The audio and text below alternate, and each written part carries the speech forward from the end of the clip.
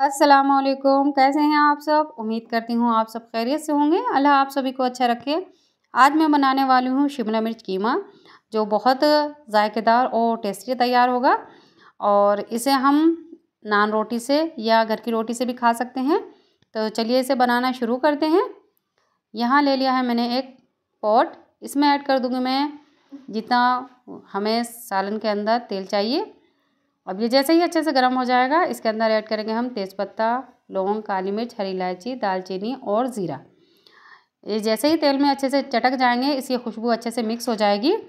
तो इसमें ऐड करेंगे हम, ये छोटे साइज़ की प्याज है तो ये मैंने छः से सात प्याज़ों को इस तरीके से मोटा मोटा कट कर लिया है। आप तेल में हम जब तक इसे फ्राई करेंगे, जब तक ये हल्के से सॉफ्ट नहीं हो जाती, और इसे हमें ज़्यादा डार्क नहीं पकाना है। तो देखिए हल्का सा इसका कलर चेंज हो चुका है। अब यहाँ ऐड कर देते हैं हम लहसुन अदरक का पेस्ट। लहसुन अदरक के पेस्ट को भी प्याज के साथ अच्छे से हम भून लेंगे। इसकी स्मेल ख़त्म हो जाए। ये मैंने कूट के डाला है। आप चाहे तो लहसुन अदरक का पेस्ट भी यहाँ ऐड कर सकते हैं। इसमें ऐड कर दूँगी मैं कीमा। ये मेरे पास ढाई सौ ग्राम कीमा है। मैं दो जनों के लिए बना रही हूँ। आप अगर ज़्यादा क्वांटिटी में बना रहे हो तो आप अपने हिसाब से कीमा और शिमला मिर्च ले सकते हैं। अब कीमे को हम अच्छे से, तेल के साथ और अदरक, लहसुन के साथ पका लेंगे। इसकी स्मेल ख़त्म हो जाएगी। इसके अंदर ऐड करेंगे हम अब नमक। अब इसे नमक डालने के बाद हम अच्छे से गोश्त और लहसुन, अदरक, प्याज के साथ मिक्स कर लेंगे। प्याज भी अच्छे से सॉफ्ट हो जाएगी नमक डालते ही। थोड़ी देर हम अच्छे से इसे भूनेंगे। अब हम इसमें ऐड करेंगे धनिया पाउडर। डेढ़ चम्मच धनिया पाउडर मैंने यहाँ ऐड किया है। कलर के लिए इसमें ऐड करेंगे हम हल्दी पाउडर, आधा चम्मच। तीखेपन के लिए जाएगा इसमें एक चम्मच पिसी हुई तीखी लाल मिर्च। अब इन मसालों को ऐड करने के बाद अच्छे से हम भून लेंगे। मसालों का कच्चापन अच्छे से हम निकाल देंगे और इसे हम कवर करके कुछ देर के लिए पकाएँगे। तो ये मसाला तो अच्छे से भून चुका है। अब यहाँ ऐड कर देती हूँ मैं साथ में ही टमाटर। टमाटर से गोश्त भी अच्छे से गल जाएगा और टमाटर भी सॉफ्ट हो जाएँगे। अब यहाँ कवर कर देंगे और फ्लेम को हम लो कर देंगे।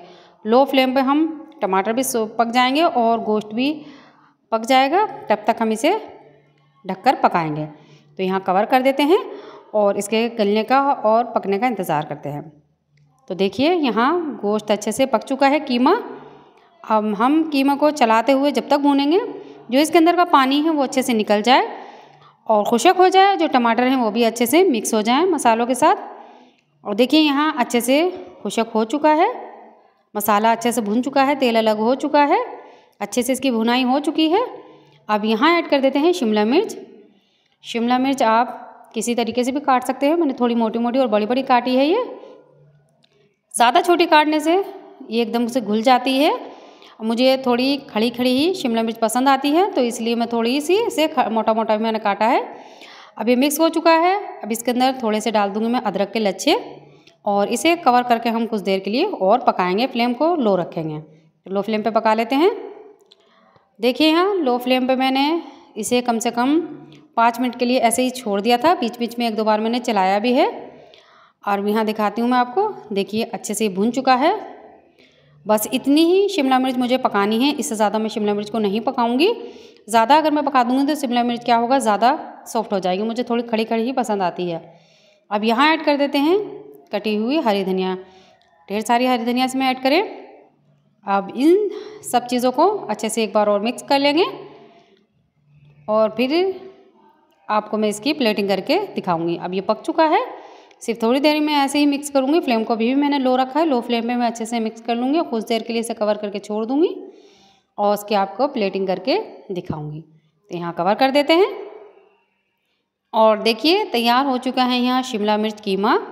कितना टेस्टी और कितना जायकेदार। आप इस तरीके से बनाएँ, आपको ये तरीका बहुत पसंद आएगा है। और इसे गार्निश कर रही हूँ मैं ऊपर से अदरक के लच्छों से। गोश्त की कोई भी चीज़ हो, उसके साथ हम अदरक के लच्छे जब खाते हैं तो बहुत ज़्यादा टेस्टी और जायकेदार लगता है। आप अपनी मर्ज़ी के हिसाब से इसमें धनिया डालें, हरी मिर्च डालें और अदरक के लच्छे डालें, आप डाल के खा सकते हैं। और ये मेरी रेसिपी आपको कैसे लगी, आप मुझे कमेंट करके ज़रूर बताएँ। मेरी ऐसी ही और वीडियो देखने के लिए मेरी इस वीडियो को लाइक करें। शेयर करें कमेंट करें, मेरे चैनल को सब्सक्राइब करें बेल बटन को ज़रूर दबाएँ। आप मुझे इंस्टाग्राम फेसबुक पे भी फॉलो कर सकते हैं, अपने कमेंट अपने राय वहाँ दे सकते हैं। और मेरी वीडियो देखने के लिए आप सभी लोगों का बहुत बहुत शुक्रिया।